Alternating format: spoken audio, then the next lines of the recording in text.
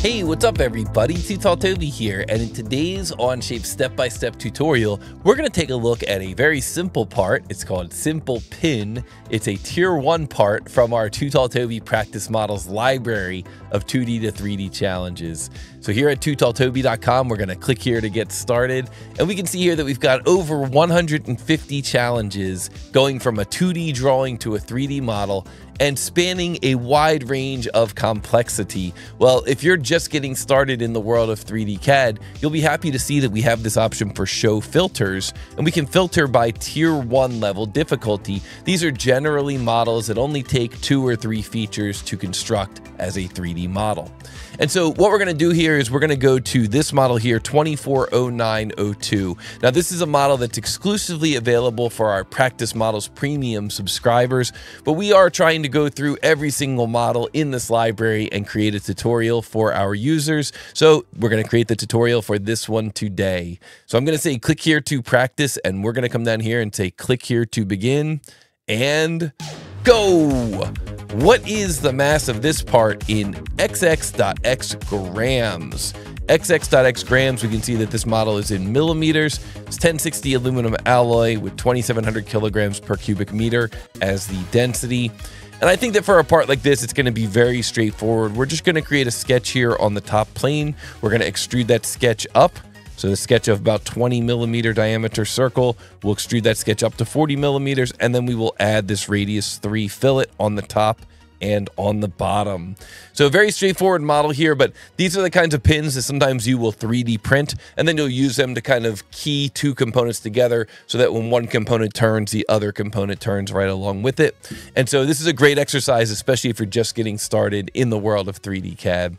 So let me move this over onto my second screen. Let's bring up our keyboard cam so you can see all the keyboard shortcuts I'm using and create a new document here, 24-09-02 simple pin. And I am creating this in the public space in Onshape. So if you're ever using Onshape or the free version of Onshape, you can search for this document in the public space and you can see how I constructed the tree. So we're going to start out here on the top plane, S key, begin a new sketch, N key to get normal to, S key to begin a circle, single click, move our mouse, single click again, let go of our mouse, and we're going to type in 20 enter. Nice 20 millimeter diameter circle there. And that's it for that first sketch. Very, very simple, very straightforward. It's a simple pin. So now we're going to choose extrude and we can extrude this up to a height of 40 millimeters. We could make it symmetric you know, if I have components that are symmetric, a lot of times I will opt to center them just because it usually works out for you better in the long run to have that plane right in the middle. But it's up to you. It doesn't really matter for this exercise if it's symmetric or if it's just one-sided. It's such a simple part that it doesn't really matter either way. So we click the green check mark, and now we're going to jump into the fillet command.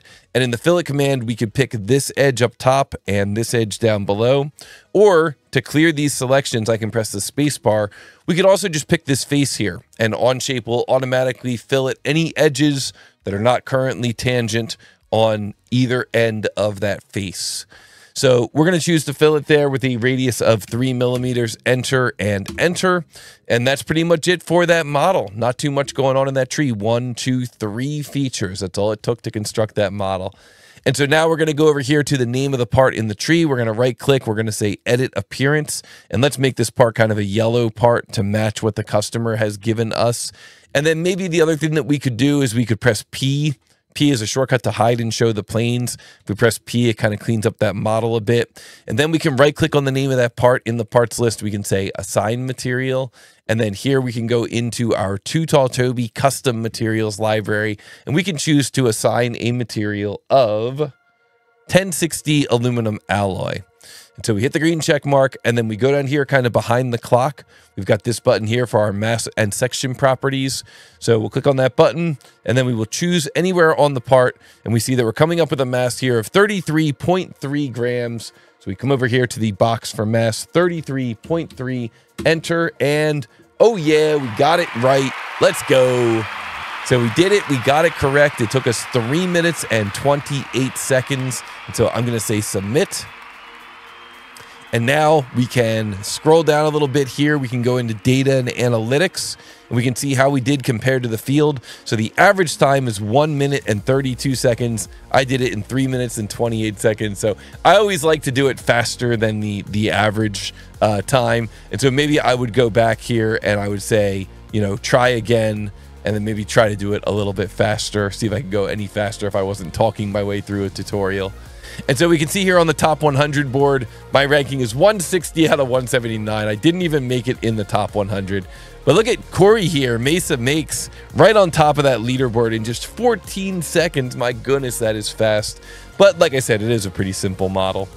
So that's it for that challenge. That's it for that tutorial. If you enjoyed that tutorial, be sure to hit the like button on this video. Be sure to subscribe to the channel, and I will look forward to seeing all of you in the next Onshape step-by-step tutorial. See you, everybody.